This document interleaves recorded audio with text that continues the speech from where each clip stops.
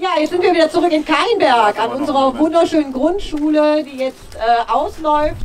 Es gibt, glaube ich, noch eine Klasse oder zwei Klassen hier, es soll also jetzt auslaufen.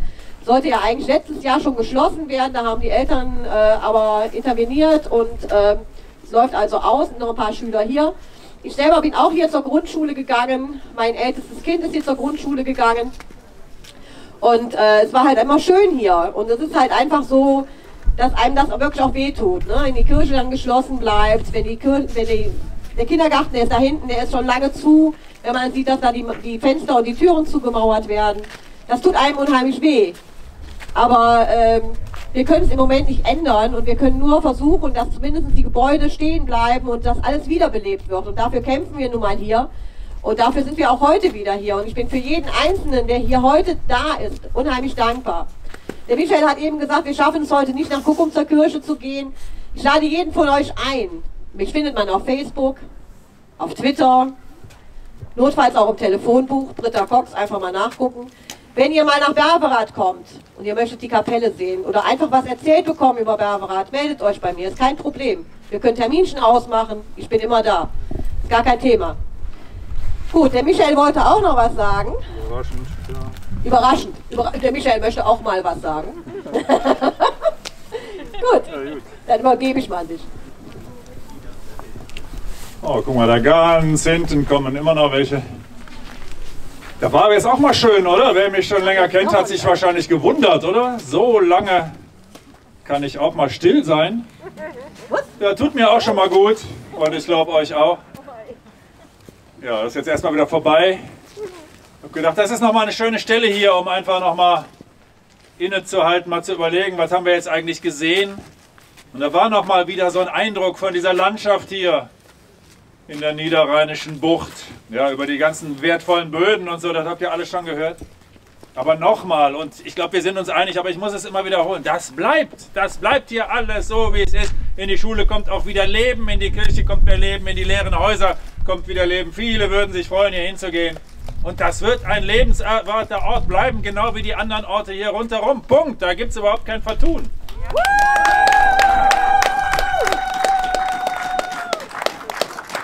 Ja, natürlich ist ja viel Arbeit bis dahin. Es gibt viel zu tun und in diesem Jahr, ich meine, dieses Jahr ist, gut, jedes Jahr ist entscheidend, aber dieses Jahr nochmal besonders, 2021. Na gut, ob wir wollen oder nicht, die Entscheidungen, das hat auch, glaube ich, am Anfang die Britta gesagt, die werden in der Politik gefällt. Und die Barbara hat es auch nochmal gesagt. RWE, klar, die baggern so lange sie können. Wenn ich so einen Bagger hätte, würde ich auch weiter baggern wahrscheinlich. Ne? Und die Sekos, die bewachen das und die Polizei wird missbraucht nach wie vor. Das geht alles weiter. Aber die Entscheidungen, die wegweisenden Entscheidungen fallen in der Politik, ob wir das wollen oder nicht. Auf die dürfen wir uns aber auch nicht verlassen. Wir brauchen nicht irgendwelche Politiker, die uns sagen, überlasst das mal den Profis. Die haben uns in diese Scheiße geritten. Das muss man einfach auch mal klar sagen.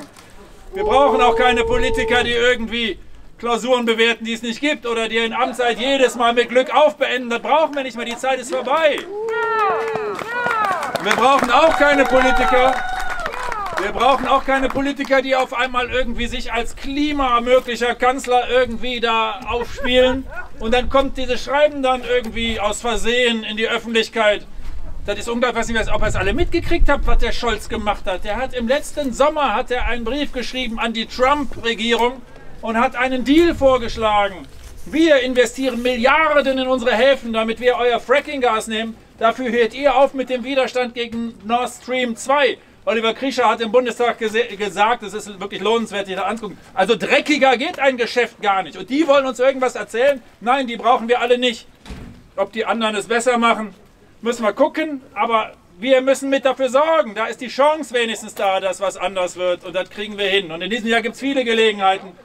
Ich vergesse jetzt bestimmt Daten, aber gut, nächster Waldspaziergang, März, Hambi. Es ist noch nicht ganz klar, 14. oder 21. Guckt auf die guckt in die sozialen Medien, guckt auf meine Website, da werdet ihr es sehen. April, dann wieder hier. Und dann kommt der 9. Mai, das ist auch nochmal ein spannendes Datum. Sind wir wieder am Hambi. Muttertag. Wir haben Eva und ich, da steht sie, vor sieben Jahren haben wir angefangen am Muttertag im Hambi. Das wird natürlich ein großes Jubiläum. 19. März, ein wichtiges Datum. Freitag, 19. März, große, nächste große Aktion von Fridays for Future. Und das wird in allen Städten, gibt es Aktionen, ihr werdet viel darüber hören. Und ich bin so froh, ich alter Sack, dass es diese jungen Leute gibt und die werden auch in diesem Jahr wieder viel, viel mehr und da kommt die Politik auch nicht dran vorbei.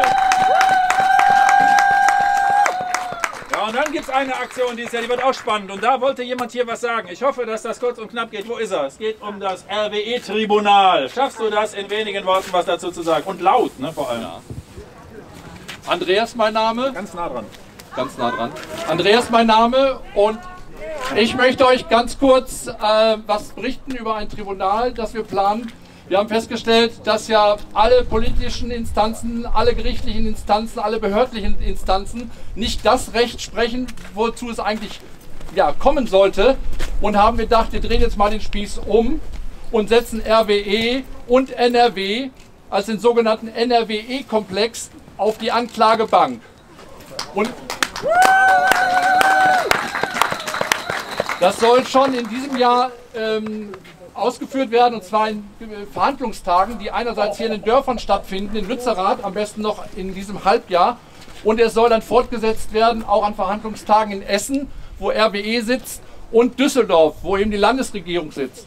Und wir haben festgestellt, dass es ja über alle Jahrzehnte, ob die Vorstände oder in den, eben in den Landesregierungen, ständig im Grunde nur das ähm, ja, äh, erzielen wollten und erzielt haben, was RWE wünschte. Das heißt, im ganzen Land äh, gibt, ist es einfach faul. Es, es stinkt bis zum Himmel, was da gewissermaßen passiert. Und wir wollen das aufdröseln. Wir wollen sozusagen jeden Akteur, der da, ob das der Kohleausschuss war, äh, ob das der Regierungspräsident war, Landesregierung, wir wollen die einfach auf die Anklagebank setzen und sagen, ihr habt die ganze Zeit Unrecht gesprochen. Alles das, was in den Jahrzehnten passiert ist, war und ist Unrecht. Und das wollen wir gewissermaßen mit Betroffenen, Zeugen, Zeuginnen, mit Sachverständigen, wollen wir das einfach ähm, auch dann ähm, bearbeiten, behandeln.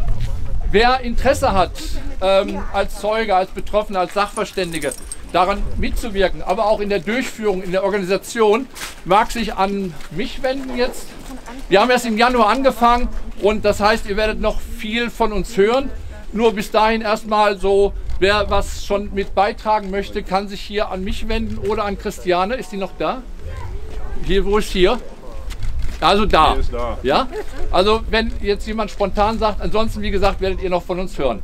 Tribunal, RWE-Tribunal, NRW-Komplex äh, stilllegen. Das ist sozusagen der Titel demnächst, der dazu da gibt es auch dann eine Homepage und einen Link und Kontaktdaten. Ihr werdet von uns hören.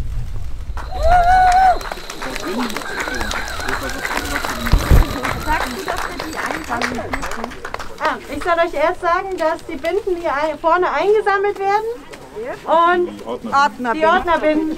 So. Und dann habe ich auch noch eine kleine Ankündigung. RWE will ja die Niederlande verklagen, weil die Niederlande 2030 aus der Kohle aussteigen und RWE deshalb dort zwei Kohlekraftwerke stilllegen muss. Genau. Und damit RWE und die ganzen anderen fossilen Industrien und Konzerne, die das jetzt immer mehr machen wollen, sobald ein Land versucht, Klimaschutzgesetze zu machen, diese zu verklagen, wird es jetzt bald in zwei Wochen eine internationale Kampagne geben gegen diese Konzerne und gegen diese Art und Weise zu klagen. Also passt auf, bald wird es international nochmal so richtig Rambazamba geben. Und ich hoffe, dass wir dann halt auch ganz viele Sodi-Grüße und Rambazamba hier im Rheinland machen. Danke, das war's.